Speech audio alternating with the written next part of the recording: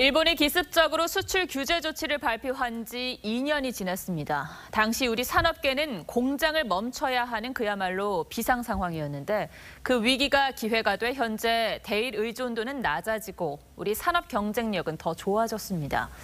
그렇다고 안심할 단계는 아닙니다. 이상배 기자가 현장을 둘러봤습니다. 방호복을 입은 직원들이 한창 일하고 있습니다. 반도체 소재 부품을 생산하는 업체로 기술력을 인정받아 국내는 물론 해외 업체들의 주문이 이어지고 있습니다.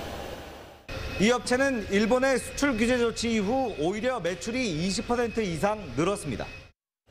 일본 규제가 있으면서 아, 한국에 있는 여러 고객들이 좀 더 일본 제품보다는 한국 제품으로 소재 부품 장비 분야 경쟁력이 크게 강화됐는데 일본 수출 규제의 핵심이었던 불화수소 등 3대 품목은 2년 만에 국산화에 성공하거나 대일 의존도를 크게 낮췄고 13개에 불과했던 시가총액 1조 원 이상의 소부장 기업도 2배 이상 늘었습니다.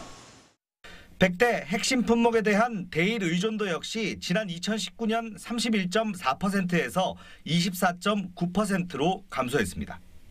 하지만 갈 길은 아직도 멉니다. 대일 의존도는 여전히 중국에 이어 두 번째로 높고 원천 기술 역시 일본이 보유하고 있습니다. 일본에서 들어오는 것들은 기술의 난이도가 높은 제품들이 많은 거죠.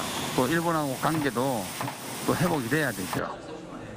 산업계는 정부의 지속적 지원과 함께 한일 관계 개선 노력 등이 동반되어야 한다고 입을 모읍니다. TV조선 이상매입니다.